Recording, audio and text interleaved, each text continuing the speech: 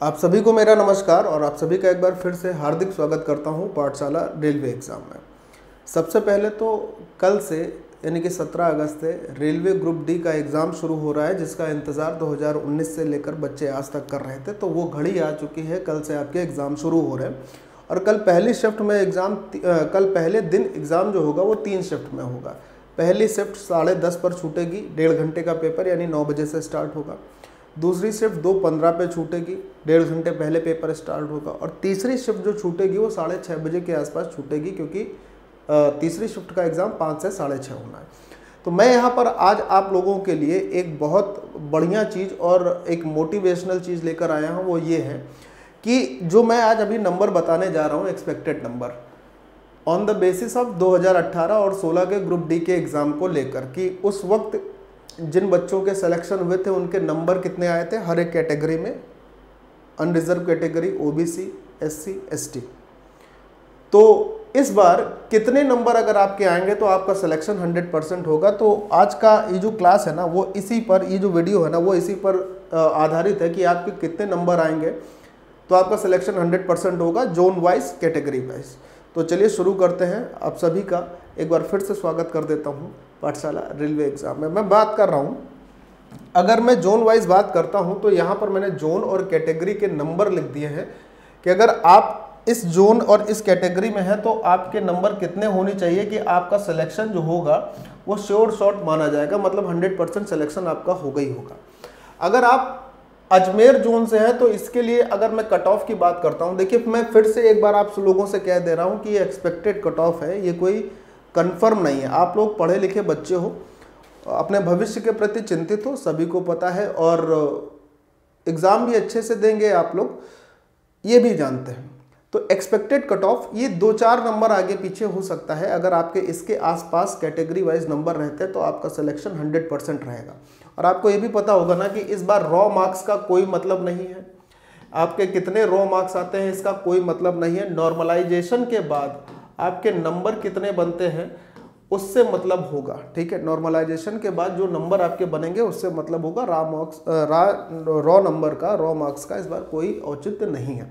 तो किसी भी प्रकार के रॉ नंबर को लेकर आप लोग कन्फ्यूज़न में मत रहिएगा। चलिए शुरू करते हैं अगर आप अजमेर जोन में हैं तो जनरल कैटेगरी में आपको तकरीबन तिहत्तर से चौहत्तर नंबर लाने होंगे प्लस माइनस चार नंबर अगर आप ओबीसी कैटेगरी में हैं तो 70 नंबर आपको चाहिए होंगे। अगर आप एससी कैटेगरी में हैं तो 63 और अगर एसटी कैटेगरी में है तो 60 अच्छा एक मज़े की बात यहाँ पे पहले बता देता हूँ। एक बोर्ड था चंडीगढ़ बोर्ड। इसमें भी होगा।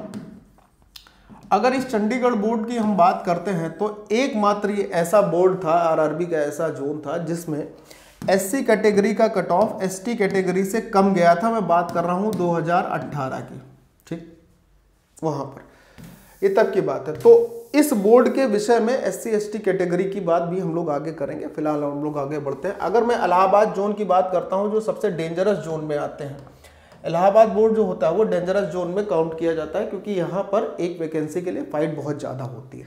तो अगर आप यहाँ पर हैं तो आपको जनरल कैटेगरी के लिए कम से कम पचहत्तर नंबर चाहिए होंगे। 74.5 लिखा है, लेकिन पचहत्तर आपको चाहिए होंगे। आप मान के चलिएगा ओबीसी कैटेगरी में 69, एससी कैटेगरी 62 और एसटी कैटेगरी का जो कट ऑफ़ होगा वो 50 रहेगा। आप अगर जनरल कैटेगरी से एसटी कैटेगरी की तुलना करें तो पहले ये जोन वाइज सबका वेरी करेगा। जैसे अजमेर जोन की बात की थी तो तेरह नंबर का वेरिएशन था लेकिन इलाहाबाद जोन में ये वेरिएशन बहुत बढ़ जाता है। ये लगभग लगभग 24 से 25 नंबर का वेरिएशन आ जाता है S T S C category और जनरल कैटेगरी में। अगर मैं अहमदाबाद जोन की बात करता हूँ तो ये भी रेलवे के हिसाब से देखा जाए तो एक ऐसा जोन है जहाँ पे कंपटीशन अच्छा खासा रहता है। लगभग बहत्तर नंबर जनरल कैटेगरी को ओबीसी को छाछठ एससी को साठ और एसटी कैटेगरी के बच्चों को कम से कम सत्तावन नंबर लाने ही होंगे। ये मिनिमम है। आप इससे ज़्यादा लेकर आते हैं तो बहुत अच्छा। मुझे पता है कि पाठशाला रेलवे एग्ज़ाम में पढ़ने वाले सभी बच्चे जो मन से पढ़ते हैं, लगातार छछूंदर की तरीके इधर उधर नहीं भागते हैं। उनके नंबर इससे ज़्यादा ही आएँगे। मैं बात कर लेता हूँ बेंगलुरु की। तो बेंगलुरु में आपको ये भी बता देते हैं कि अगर मैं पिछली बार की तुलनात्मक अध्ययन के रूप में आपको बताऊँ तो बेंगलुरु बोर्ड ऐसा था जिसका कट ऑफ़ जो था वो लोवेस्ट था। अब आप एक चीज़ और समझ सकते हैं कि लोवेस्ट कट ऑफ़ पे भी जनरल कैटेगरी आप अगर इस बार देखें, ये पिछली बार का लोवेस्ट कट ऑफ़ का बोर्ड था। मैं इस बार की बात कर रहा हूँ तो इस बार इसमें तकरीबन आपको बासठ से पैंसठ नंबर लाने होंगे जनरल कैटेगरी में सिलेक्शन के लिए। ओबीसी एससी और एसटी इस प्रकार से नंबर डिवीज़न किए। मैं आपको फिर से एक बार बोल देता हूँ ये कोई 100 परसेंट श्योर शॉट नहीं कि इतने नंबर आपको लाने हैं। आपके नंबर कम भी आ सकते हैं ज़्यादा भी आ सकते हैं कट ऑफ़ इससे बढ़ भी सकता है घट भी सकता है। भोपाल की अगर बात की जाए अच्छा खासा एक जोन होता है जिसमें कंपटीशन अच्छा होता है तो जनरल कैटेगरी 75, ओबीसी 70, एससी तिहत्तर तिरसठ और एसटी कैटेगरी का कट ऑफ़ जो रहेगा वो 58 के आसपास रहेगा। दो प्लस दो या चार नंबर प्लस माइनस ठीक है? माइनस होने की संभावनाएँ कम है, ये प्लस ही जा सकता है। बिलासपुर बोर्ड की बात किया जाए तो ये भी डेंजरस जोन में आता है, यहाँ भी कट ऑफ़ अच्छा रहता है। तो यहाँ पर ये जो 70 लिखा है, इसको आप 73 मान के चलिएगा, क्योंकि एक दो नंबर में सिलेक्शन रुकते भी हैं और होते भी हैं। तो 73 general category S C O B C S C और एस टी कैटेगरी के ये नंबर है एक्सपेक्टेड मार्क्स जो मैंने कुछ बहुत, थोड़ा बहुत अध्ययन करके, थोड़ा बहुत मतलब बहुत अध्ययन करके ये लिखे हैं आपके सामने, ठीक है? मैं बात करता हूँ भुवनेश्वर बोर्ड की तो भुवनेश्वर बोर्ड भी अच्छा खासा डेंजरस जोन में आता है। डेंजरस जोन का मतलब कॉम्पिटिशन अच्छा रहता है। जनरल कैटेगरी को चौहत्तर नंबर ओबीसी को उनहत्तर नंबर एससी कैटेगरी 60 नंबर और एसटी कैटेगरी के बच्चों को 55 नंबर मिनिमम रिक्वायरमेंट होगी। चंडीगढ़ बोर्ड की बात करते हैं तो चंडीगढ़ बोर्ड में जनरल कैटेगरी का कट ऑफ़ जो होगा, पचहत्तर से छिहत्तर हो सकता है सेवेंटी सेवन तक चला जाए।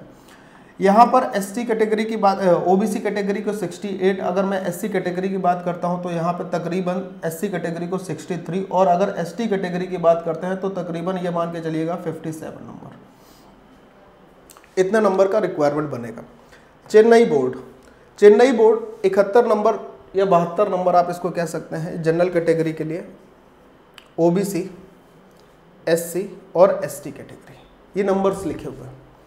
गोरखपुर बोर्ड की बात करते हैं, अगर कट ऑफ़ पर देखा जाए तो ये भी अच्छा खासा बोर्ड है, जिसमें भी कंपटीशन काफ़ी अच्छा रहता है। बहुत सारे बच्चे गोरखपुर जोन से भी फॉर्म भरते हैं seventy three sixty nine sixty fifty four right उसके बाद गुवाहाटी बोर्ड की अगर बात की जाए नॉर्थ ईस्टर्न रेलवे में आता है सेवेंटी सेवन यानी आप देख रहे हो कि अगर ये लिखा है तो कंपटीशन अच्छा खासा होगा। आप कंपटीशन का अंदाज़ा सिर्फ़ जनरल कैटेगरी के प्रीवियस कट ऑफ़ से भी लगा सकते हो। बहुत सिंपल सी बात है। ओबीसी एससी और एसटी आप देख रहे हैं गुवाहाटी बोर्ड में जनरल कैटेगरी और ओबीसी कैटेगरी के नंबर्स में बहुत ज़्यादा फ़र्क नहीं है। यहाँ मैंने ई e को मेंशन अभी नहीं किया है। उसका हमें थोड़ा सा अंदाज़ा अभी नहीं हो पा रहा था तो इसलिए मैंने ई e अभी छोड़ा हुआ है, ठीक है? अगर मैं कोलकाता जोन की बात करता हूँ तो ये जोन ऐसा है जो कि इस बार भी ये और इलाहाबाद जोन, दो जोन ऐसे हैं जो इस बार भी हाईएस्ट कट ऑफ़ यानी कि डेंजरस श्रेणी में रहने वाले हैं। इलाहाबाद जोन और कोलकाता जोन। तो यहाँ पर जनरल कैटेगरी के लिए आपको कम से कम 80 से बयासी नंबर चाहिए होंगे। ओबीसी और अगर मैं देखूँ एससी कैटेगरी तो लगभग समान रहने वाले हैं। यहाँ पर नंबर का डिफरेंस आएगा, लेकिन मैंने लिखा नहीं है। तो एससी कैटेगरी का कट ऑफ़ ओबीसी से बहुत कम नहीं रहेगा, दो या तीन नंबर के आसपास का वेरिएशन आएगा और एससी एसटी कैटेगरी पचपन नंबर के आसपास रहने वाली है। मुंबई जोन की बात करें तो वेस्टर्न रेलवे मुंबई और सेंट्रल रेलवे मुंबई दो उसमें आते हैं। जनरल कैटेगरी की अगर मैं कट ऑफ़ की बात करता हूँ यहाँ पर, जनरल कैटेगरी के कट ऑफ़ की बात कर लेते हैं तो मुंबई जोन का जनरल कैटेगरी का कट ऑफ़ जो होगा वो 67.96 के आसपास रहेगा। ओबीसी एससी और एसटी कैटेगरी। तो बहुत ज़्यादा फ़र्क मुंबई कैटेगरी में, मुंबई के रेलवे जोन में नहीं मिलने वाला है, क्योंकि यहाँ पे कंपटीशन कम होता है, लोग फॉर्म ही कम भरते हैं, इसलिए जो नंबर्स के वेरिएशन होते हैं, बहुत ज़्यादा नहीं दिखते हैं। पटना जोन ये भी एक डेंजरस जोन में आने वाला है और आता ही है क्योंकि बहुत सारे बच्चे बिहार झारखंड छत्तीसगढ़ के आसपास के जोन के होते हैं पटना जोन से फॉर्म भरते हैं। तो यहाँ पे तकरीबन आपको इस बार का अगर मैं बोलूँ तो आपको तकरीबन 75 से लेकर 78 के बीच में जनरल कैटेगरी का कट ऑफ़ रहेगा। इतने नंबर मिनिमम आपको रिक्वायरमेंट रहेगी 72, 61 और 58 रांची बोर्ड एक और खतरनाक जोन है जिसमें कंपटीशन अच्छा होता है।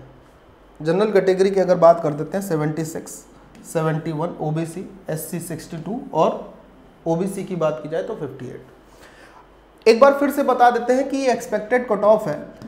ये मैंने 2018 में जो वैकेंसी थी आरआरसी ग्रुप डी की उसकी तर्ज पर मैं आप लोगों के सामने रख रहा हूँ। तकरीबन आपको ये तो अंदाज़ा हो जाए कि मैं इतने नंबर के आसपास रहूँगा इस जोन से और इस कैटेगरी में। तो सिलेक्शन श्योर शॉर्ट होगा हंड्रेड परसेंट होगा, ठीक? फिर से बोलता हूँ रॉ मार्क्स का इस बार कोई रोल नहीं होने वाला है। आरआरबी ने अपनी ऑफिशियल नोटिस में ये बात कह दी है। तो जो नंबर आपके पास आएँगे, उसका नॉर्मलाइजेशन होगा। एक फार्मूला दिया हुआ है। चाहोगे आप, बोलोगे कमेंट करोगे तो उस पर भी एक वीडियो कर दूँगा छोटा सा कि किस फार्मूले के तहत नॉर्मलाइजेशन कैसे होगा और अब की बार सब कुछ परसेंटाइल पर होगा। ये ध्यान रखिएगा। परसेंट का कोई खेल नहीं होगा, सब कुछ परसेंटाइल पर होगा। तो किस तरीके से आपको परसेंटाइल निकलता है, जो भी आपके नंबर आएँगे, आप कहेंगे। तो एक छोटा सा वीडियो उस पर भी कर दूँगा, कोई बड़ी बात नहीं आएगी। और बहुत सरल सा है परसेंटाइल यहाँ पर किस तरीके से ग्रुप डी के लिए निकालेंगे। तो इतने नंबर इस जोन में, इस कैटेगरी वाइज अगर आपके आते हैं, थोड़े बहुत कम ज़्यादा हो सकते हैं, मैं बोल रहा हूँ एक्सपेक्टेड है। तो आप अपने सिलेक्शन को श्योर शॉट हंड्रेड परसेंट मान के चलिएगा, ठीक है? जय Hind bye bye take care